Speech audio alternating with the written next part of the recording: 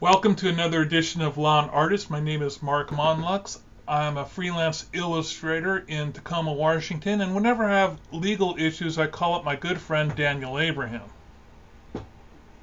I'm Daniel Abraham, former illustrator, current attorney, serving the art community, and I enjoy discussing issues with Mark Monlux.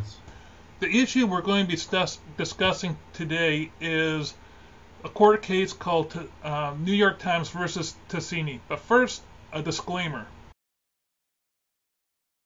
Daniel, Tasini was the uh, president of the Writers Union, and he was upset with the New York Times taking articles that he had submitted to the New York Times and then posting them on the internet.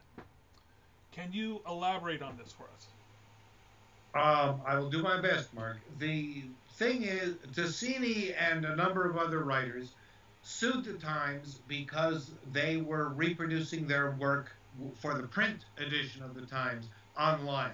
They tried to say this was a different usage, that it was a derivative.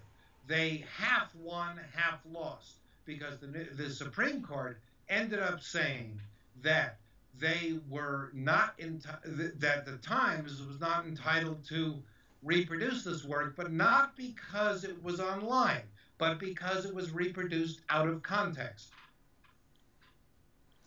So, what should someone look for in a contract when it says in context? Is that a good thing?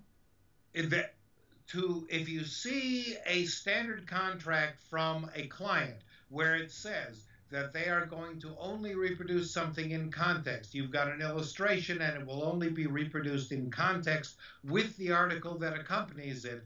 That is a good thing because what that does is it says that the image is only going to be reproduced with the article it was originally intended to be with. Thank you, Daniel. That that covers the bullet points of Tasini versus New York Times. If you're interested in this and other court cases, please submit a comment in the doodly doo below. Thank you.